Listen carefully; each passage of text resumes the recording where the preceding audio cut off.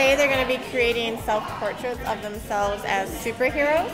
So we're going to work on what superpowers they have.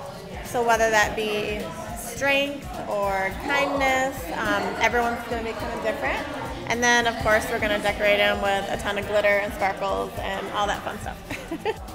I like glitter, so I decided, and I'm a girl, so I decided I was glitter girl. Her superpower is to have glitter bombs, and if someone touches it and they're sick, like like anything, it can heal heal them. So Brody, what's your superhero's power there?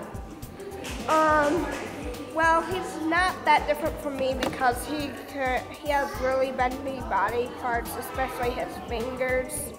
So would you say that's super flexible? Yeah. Yeah. Do you feel like you're super flexible? Yeah, well, mostly in my fingers. Everything has glitter on it that she has. Leaves glitter wherever she goes. But um, yeah, when she was in the hospital during transplant, her medical treatment, wearing the costumes, having her glitter, it helps her think of happier times and keeping a positive attitude through everything.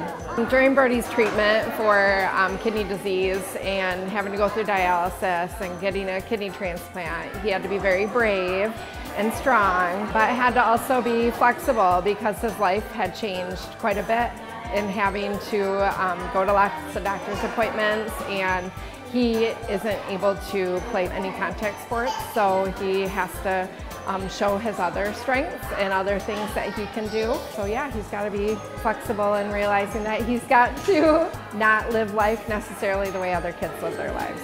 So what are you thinking about while you're drawing? Are you thinking about his eyes?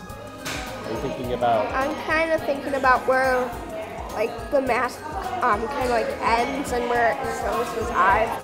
They're drawing themselves in the superhero you know, state and it just kind of gives them strength. I just enjoy seeing like the impact it has. Just a way to relax and just have some fun and be a kid. And then, yeah, it's like a good form of art therapy.